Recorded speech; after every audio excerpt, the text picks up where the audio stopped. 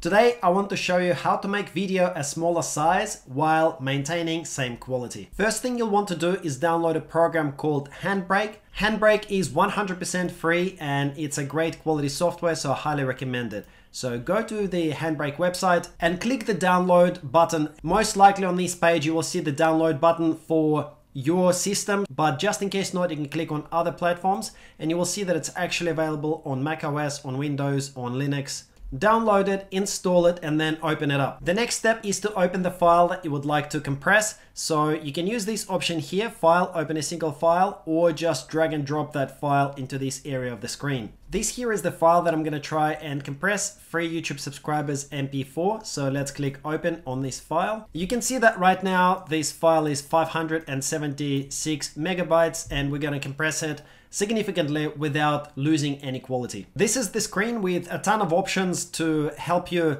adjust the video output the way that you want it to be, but don't get worried about the sheer amount of various options over here. In this part of the video, I want to show you how you can very quickly use some of the presets. And the easiest way to get started with this program is to use this presets option here at the very top where it says presets. So from the presets, you can choose um, any of these presets, you can see very fast 1080p 30, 720p and so on. And you can also access these pre presets, same presets from this menu over here. So these are essentially default settings that have already been created by the developers of the program and they can very quickly help you select all of the settings. In general, I find that for day-to-day -day use, I don't really need to uh, change any of the settings myself, but you can customize them. So for example, if you choose one of the presets to be a very fast 1080p 30, you can then go through these screens over here and change any of the default presets. So as an example, if you wanted to add a filter, and I'll talk about that in a little bit more detail later on in the video. But if you wanted to add uh, uh, any of the filters to your video, you can do that from here. For example, if you like this very fast 1080p 30 preset, but you want the quality to be not 24, but let's say 27, then you can adjust that over here. You can always just go back to the presets as well and load a different preset or kind of reset the preset to what it was before. So it's very simple to do. If you're wondering which preset you should use, I recommend to go with this one called Fast 1080 P30, the default preset. This is the one that I find it works really fast. The videos get converted really quickly. The quality of the videos is really, really good and it reduces the file significantly. So let me show you how it will work when I choose this preset over here. I don't need to change anything anymore unless I want to customize any of the options. I just need to choose save as so that I know where the output of the video will get saved. See over here, you can choose the extension MKV, WebM or MP4 or M4V. So I'm, i want an MP4 and I'm going to click save. This will now uh, set the save as folder to this destination and pretty much all I need to do now is just go and start encode. I can also add them to queue so you can do more than one video at a time if you would like to batch process. But for now, I will just click start encode. So this is the output. This was the original video. It was 576 megabytes. Now this video was produced out of Camtasia and I already applied some compression characteristics out of Camtasia. The video output that we've got now is this one here. The reduced file is 162 megabytes. So it's been reduced by about three, almost four times, and the quality is indistinguishable. I'm going to play little bits of it for you now so that you can take a look and see what you think. This is the original. Hey guys, in this video I'm going to show you how to get free YouTube subscribers. And this is the reduced video. The quality is completely the same, you cannot tell the difference between them at all. The next step to make sure you get the maximum quality for your video is to smash the like button below and subscribe to my channel. Now seriously guys, I'd really appreciate it if you click the like button for the YouTube algorithm and click subscribe just below so we can stay connected. Thank you. These are the basics of what you need to know about using Handbrake. So just go into presets, use any of these presets.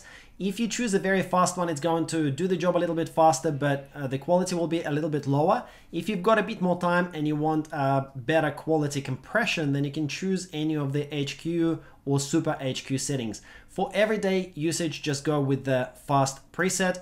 Now, if you would like to customize some of the settings, I'm just gonna run through some of the most important settings here for you.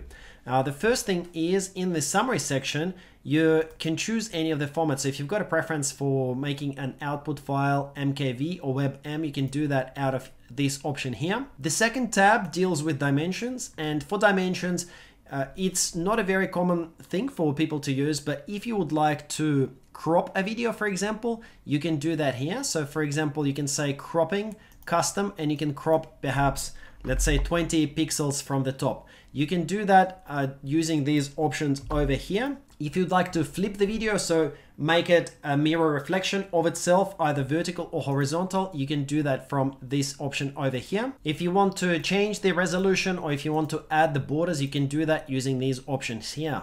If you want to add some of the filters to the video, you can. So for example, you can make it grayscale if you choose this option over here. If you want to sharpen it or denoise, etc. You can do that from these options here. Under the video tab, you can choose some of the more advanced options. So if you know that you would like to use a different encoder, feel free to choose that from these options here. I normally just go with H264 and this is completely fine. If you've got um, special graphics encoder, graphics card encoder that you would like to use, such as NVIDIA, you can choose that over here, but H264 will do the job just fine. If you want to adjust the frame rate, you can do that here. So you can make it 60 or 120 or 20.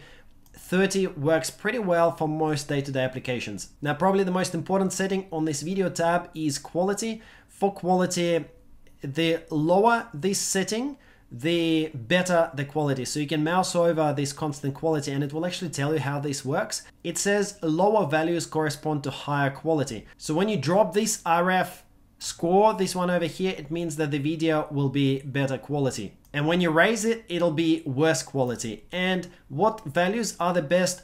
Well, generally for high definition videos between 20 and 23 is recommended. So I would set it to somewhere between 20 and 23. And you will see that if I go into preset and go fast 1080p 30, that it will set itself to 22 RF. In the audio tab, you can change some of the settings over here. And the most important one here is the codec to use. So whether you want to use AAC, MP3, AC3, etc. If in doubt, just use double AC. That's the standard one and it works really well. Bitrate determines the quality. So generally I would say go with between 160 and 320. On my videos, I tend to use 192. That seems to work really well. But if you really care about the quality, then perhaps consider going to 320. The higher this, the better the quality. And the quality of the audio does not really make a big difference to the file size of the video because audio takes up very little data compared to the actual video content of the video. There are also a couple of options related to subtitles and chapters, but I won't go into it now. You can read the help files if you would like. In general, my best bit of advice is to basically use these presets and the standard options is this one over here, fast 1080p 30. That's the one that's going to do a really good job for you. Thank you so much. Click the subscribe button just below this video to stay up to date with my content. Have a great day. My name is Greg Kononenko and I'll see you in the next video.